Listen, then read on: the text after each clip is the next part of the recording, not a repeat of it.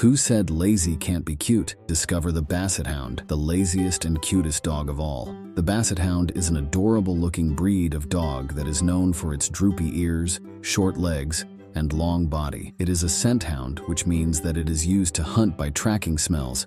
These dogs were originally bred for hunting purposes in France and have been used for generations.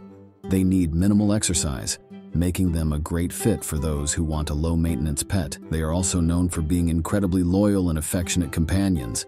Basset hounds are also very intelligent, making them easy to train, although they usually don't have an aggressive nature. These dogs are also very social and love being around people and other animals. They have been known to get along well with children and other pets making them a great addition to any family. Leave a comment with your favorite thing about Bassets, and don't forget to hit that like button and follow for more furry content.